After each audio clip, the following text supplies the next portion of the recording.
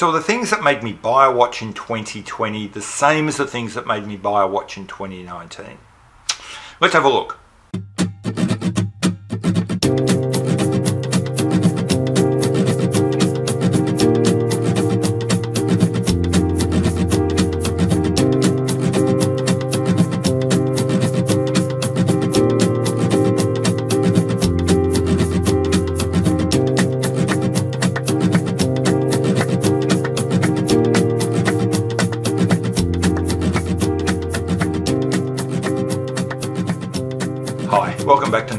Obvious Watches. I'm Pete McConvill. A couple of weeks ago, I went back and looked at uh, my deal breakers video from 2019 and asked myself, were the things that stopped me buying a watch in 2019 the same as the things that stopped me buying a watch today in 2020? And by and large, they were.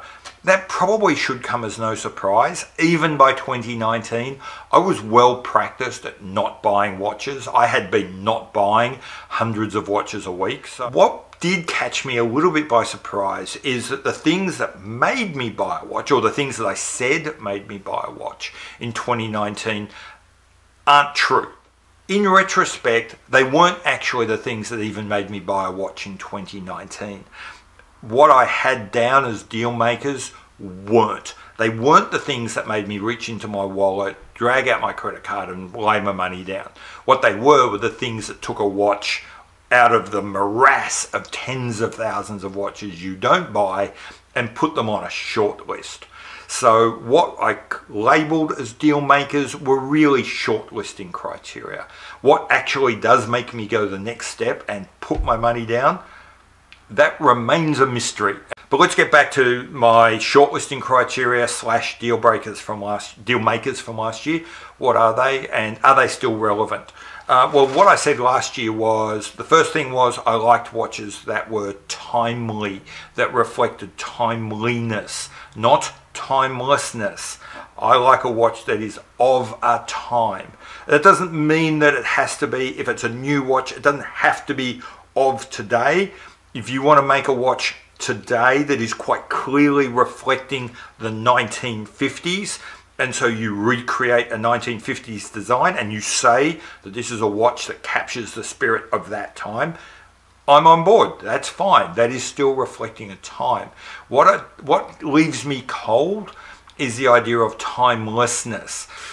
I don't subscribe to the idea that there is such a thing as absolute beauty. I don't subscribe to the idea that there is a universal idea of what's good and what's bad. I think I'm very much an, an existentialist, a relativist, um, a subjectivist. I think that beauty is always between the relationship between you and the thing that you're looking at. And for me, time is essential in that kind of relationship. If there's no sense of time in that relationship, it's probably because you developed something that was a bit bland and a bit generic, and yeah, it's not really for me. Okay, uh, the other thing I said I wanted was evidence of thought. That I wanted to see evidence that someone had sat down very hard and thought, well, what am I trying to do with this product? In this case, what am I trying to do with this watch? What are my success factors? What are my constraints? And then how am I going to achieve that? And that remains true. I like watches which show that kind of sense of purpose in their in their design, and I I hate watches that don't have that sense of purpose. Um, that's probably why, for example, a knockoff does so little for me because the only purpose of a knockoff is to print money by using someone else's thought, and that that's not going to do it for me. Um, I said last year that I really like tooliness in designs, and that remains true. I think um, if you put aside my vintage watches, if I do look at vintage watches, I will go down the dress route, but that's largely because most vintage watches were dress watches. Um, and yeah, I'm kind of a bit rough around the edges. I'm a bit, you know, I, I don't dress up for much. I don't want my watches to dress up for much. My watches are work boots. They're protective jackets. They're, they're tools. Um, that's how I see pretty much everything about me and my life. Um, and I want my watches to be like that too. Um, I said last year that I really value design, and that remains true. And by design, I mean the aesthetics, the look, the feel of a watch. That's really important to me. Um, and one thing I would even double down on what I said last year was case design is particularly important to me. Now, I will buy, and I do own, and I love some watches of, of mine that have got other features that have, but may have quite bland cases.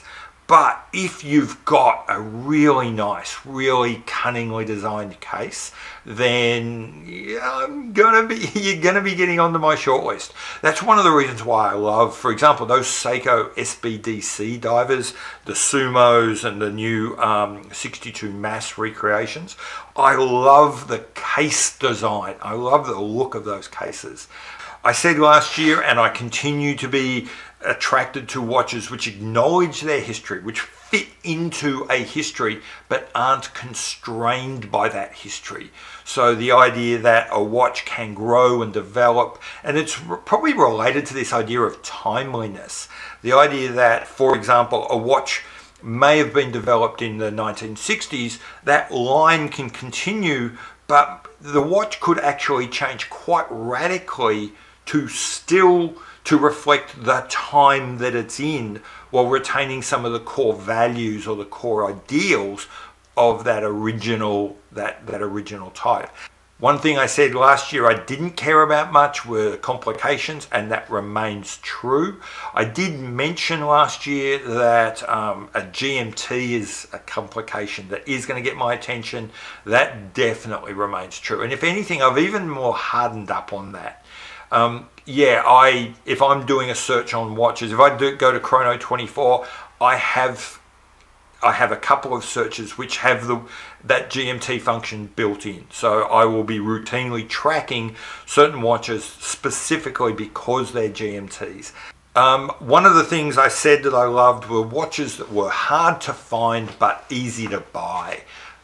That absolutely remains true. And in fact, um, I'm not sure if I said it last year, but uh, there's an expression I've heard, uh, which is, you know, that we should aim for a an aristocracy of taste, but a democracy of access.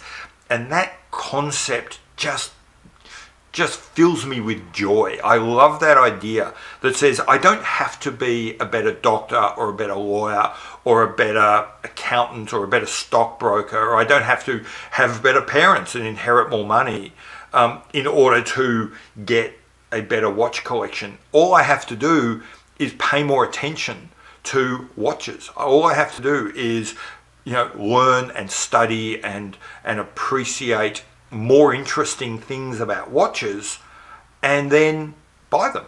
One thing that I've definitely hardened up on is um, I, I, look for watches, I will try and get watches onto a shortlist which grow my collection. Um, last year, this was kind of vague. I kind of wanted watches that fit with my overall collection. But last year was like early days of the solar system. Large puddles of gas that haven't quite coalesced into planets yet.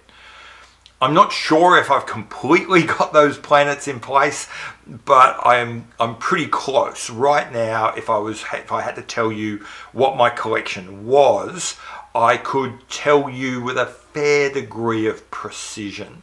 Um, and now that very definitely informs what I'm going to collect, what I'm going to buy. Um, so I've got an idea of what I want my collection to be. That shapes, for example, my Chrono 24 search criteria. Um, that really it doesn't totally limit. I do allow myself the ability to go off off list if you like and look at other things. But yeah, I really do focus on not just individual watches because there are lots of gorgeous watches out there, but how that watch fits with the larger collection I'm trying to build. There were a couple of things that I was after last year that would have got you onto a shortlist that these days probably won't. Um, the first is uh, last year I was very big on the idea of carefree watches. So I have in my deal breakers that I won't buy a watch that is so expensive that um, I worry about it. That remains true. I very much have a a ceiling that I don't feel comfortable going beyond. But last year, I very much had an emphasis on going as close to the floor as I could. I wanted to get as cheap as I could so as I didn't have to worry at all about the watches. That has definitely kind of gone away. I don't really look to be at the bottom end of my envelope anymore. I'm happy to go up as high as I feel comfortable as long as I don't exceed a ceiling. So that part of my my shortlisting has kind of changed. The other thing was last year I was talking a lot about watches which opened new doors and made me go new places and learn all sorts of new things. And I think that reflected the idea that I was still figuring out what I wanted my collection to be. Now I would still look at lots of watches that um, I won't necessarily want to collect. In fact, if anything, I do that even more now. But I don't, those watches, I do that because I want to know more about watches, not because I'm trying to shortlist watches I might actually buy. So I think one of the things that's changed is I've gone from looking at watches as prospective purchases to continuing to look at a wide variety of watches because I'm interested in watches and separate that from the the task of looking at watches I'm I'm looking at collecting myself. So that's it. That's probably my look at what I called deal breakers but were actually shortlisting criteria last year and looking at whether they're still valid shortlisting criteria for me now. I'm actually happy that I've changed from last year. I remain really happy that what would stop me buying a watch last year would still stop me buying a watch. But I'm also very happy that what I thought would make me buy a watch isn't the same anymore. What about yourself? If you go back and look at the sorts of things that you thought would make you buy a watch last year, are they still the same? Are you are you a well-seasoned collector? You know what you like, you know what you're going to buy, or are you finding that that process of appreciating versus buying a watch um, and then ultimately buying a watch is changing and how is that so? I'd be interested. Leave a comment below. We can have a chat about it. I've been Pete McConvill. This has been Not So Obvious Watches. You'll notice I don't do wrist checks. If you're interested in my watches and my what, what I wear, I have got a state of the collection coming, but it's probably a couple of weeks or months away. Uh, go check out my Instagram, and I wear a new watch every day. So if you go back through a couple of weeks, you'll see most of my watches. Hit the like and subscribe button, help me grow this channel, and I'll see you later. Bye.